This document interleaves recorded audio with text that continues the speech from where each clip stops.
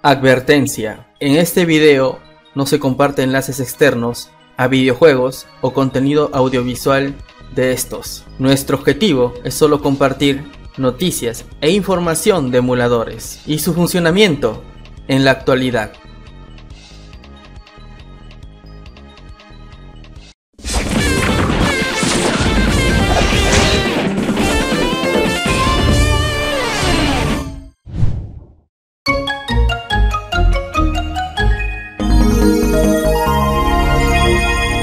Hola chicos de Immortal Games, como siempre trayendo lo mejor de la emulación para todos ustedes. El día de hoy tenemos un contenido muy especial, ya que hablaremos de múltiples temas interesantes. Recuerden, estamos con el nuevo formato, solo emulación, así que muy atentos.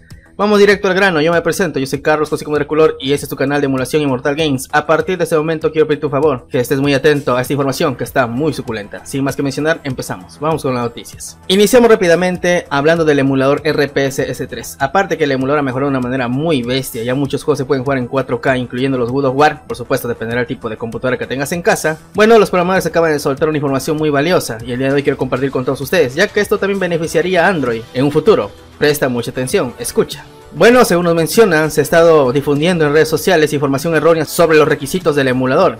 Y gente, por supuesto, estaba compartiendo información malintencionada o que básicamente no era real. Así que los programadores han decidido soltar una bomba. Y esto, por supuesto, ha sorprendido a muchos fans. Escucha, estos serían los nuevos requisitos del emulador de PlayStation 3 después de 4 años. Presta mucha atención. Estamos ajustando nuestros requerimientos de hardware después de más de 4 años, desde la última actualización, que son cambios que se están realizando en la actualidad.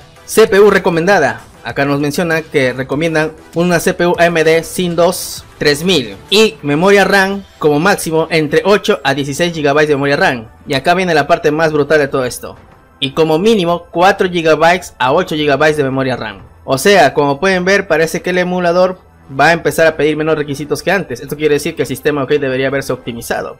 Ahora que ya lo sabes, continuamos con más noticias. Chicos, continuando con más información, tenemos que hablar, sí, de un bombazo.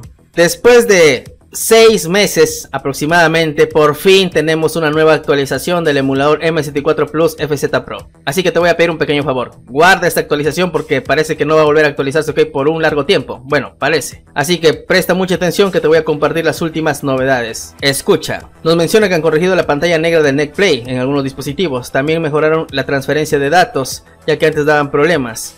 Corrigieron notificaciones en Android 13 actualizaron la base de datos del emulador, incluyendo el núcleo. También corrigieron problemas de NetPlay. También actualizaron el famoso plugin Glide 64. Y bueno, para terminar, sí, actualizaron las bibliotecas más recientes con el sistema del emulador. Y bueno chicos, ya está. Esta es la información de esta nueva versión. Así que si quieres probarlo o testearlo, quiero decirte que más información lo encontrarás en el primer comentario, si te interesa. Ahora que ya lo sabes, continuamos con más noticias. Señores, no sé qué está pasando, pero por algún motivo X y Z, este título denominado Super Mario Bros. 64 que estás viendo en este momento, se ha vuelto nuevamente popular. La verdad, es un título que me parece interesante e increíble, básicamente es un ROM hack basado en el título original de Super Mario 64. Y como pueden ver, sí, literal, te traen el universo de Super Mario Bros. Y se ve increíble. El título sinceramente es muy entretenido, muy adictivo, tengo que decirlo. Sinceramente me gustó, me encantó cuando lo disfruté tanto en PC como en Android. Quiero aprovechar y recomendártelo ya que en este momento los gamers gringos básicamente lo están volviendo a jugar nuevamente. Así que si no lo conocías o no sabías de su existencia, pues colega, ahora ya estás completamente enterado. En fin, vuelvo a repetir, el juego se llama Super Mario Bros. 64. Ahora que ya lo sabes, continuamos con más noticias. Señores, tenemos que hablar de un juegazo denominado Castaway. Así como escuchas, este juego está para la consola de Nintendo Switch. Ya sabe lo que significa. Emulación, tanto en PC como en Android. Guiño, guiño, guiño, guiño. Y algo que me ha llamado mucho la atención es que el juego básicamente está inspirado en el título de The Legend of Zelda. Sí, posiblemente ya te hayas dado cuenta en cuál de todas sus versiones. Sí, en la versión de Game Boy Advance. El título sinceramente no está nada mal, se ve muy bonito, especialmente para los gamers que le encantan los títulos retro. Estoy seguro que te va a fascinar. El juego es genial, divierte mucho y por supuesto también cumple su objetivo, entretener. Así que señores, la diversión está completamente asegurada. Ahora que ya lo saben, continuamos con más noticias. Chicos, les presento la nueva consola portátil de emulación retro de moda, la famosa Shu Mini M.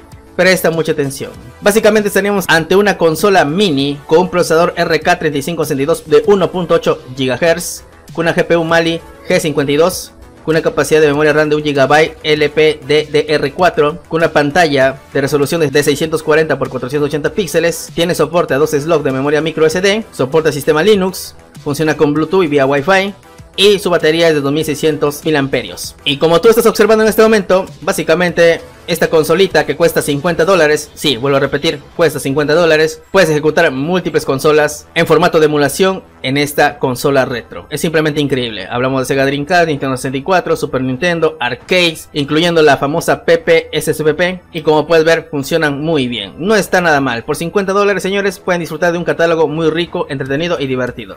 A partir de aquí dependerá de ustedes. Ahora que ya lo saben, continuamos con más noticias. Señores, recomendación brutal, sí, para tu dispositivo móvil y para PC. En PC puedes jugarlo de manera nativa, en dispositivos móviles tendrás que emularlo, así como escuchas. Te presento Super Mario Bros. Crossover. Sí, como puedes ver, el título no está nada mal. Básicamente nos presenta múltiples escenarios de Mario Bros. donde podemos disfrutar con múltiples personajes que salieron para la consola de NES. Y sinceramente mi favorito es Contra. El personaje se ve muy bien, la jugabilidad es muy entretenida, divertida y sinceramente me sacó unas carcajadas. ¿Quieres que sea sincero? Lo disfruté muchísimo. Lo genial, puedes jugarlo en tu computadora o en tu celular. Para jugar en tu celular se recomendaría usar un emulador. Puede ser Winlator o cualquier emulador de computadora que conozcas. No debería presentar problemas. Y de esta manera podrás disfrutar ese título de una manera correcta y adecuada.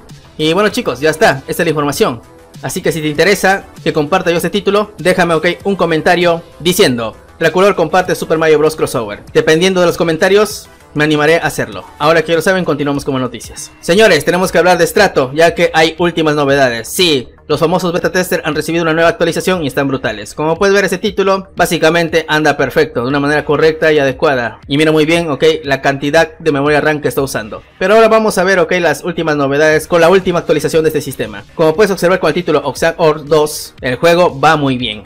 Básicamente antes presentaba errores gráficos. Lo que sí, no hay que negar, es que la velocidad tiene que seguir mejorando. Este título posiblemente recuerda títulos como The Legend of Zelda, y sinceramente no está nada mal. Si nunca lo has jugado, te lo recomiendo, funciona muy bien en emuladores como Yuzu, entre otros. Otro ejemplo, Octopatch Travel, por fin este RPG que presentaba muchos problemas gráficos y que sinceramente era un dolor de pelotas para muchos fans de la emulación, pues como pueden ver, ahora funciona mejor que nunca. Por supuesto, todavía presenta inestabilidad en algunos escenarios y en otros van muy bien. Para ser sincero, en escenarios cerrados, como estamos viendo a continuación, va perfectamente. Veamos otro ejemplo más. Red Dead Redemption. En este caso, lo que sorprende es que han corregido múltiples errores gráficos, incluyendo que el problema de las sombras, y la iluminación y el contraste también han mejorado, lo que sí hay algo innegable la velocidad. Esperemos, ok, que con Strato lo solucionen. Y bueno, como pueden observar, sí, múltiples títulos han sido corregidos, han sido solucionados, como este título de Ocean Náutica, que ahora va muy bien, de una manera perfecta, con los fotogramas adecuados. Lo que me sorprende es que el emulador, señores, no pide mucha memoria RAM, como otros emuladores o sistemas. Y por supuesto, como digo y vuelvo a repetir, eso ya es una gran ventaja. Y bueno chicos, ya está, esta es la información que tengo para ti el día de hoy. Sinceramente espero que este video te haya gustado, si es así no olvides regalarme un super like, suscribirte al canal y activar la campanita de notificaciones. Y no olvides por favor recomendarme en tus redes sociales. Ah, y otra cosita antes que se me olvide. Por favor, comenten, comenten señores, ya que eso también apoya mucho al algoritmo de YouTube para que recomiendo que haya este video en el canal. En fin, nos vemos hasta la próxima. Adiós con todos ustedes.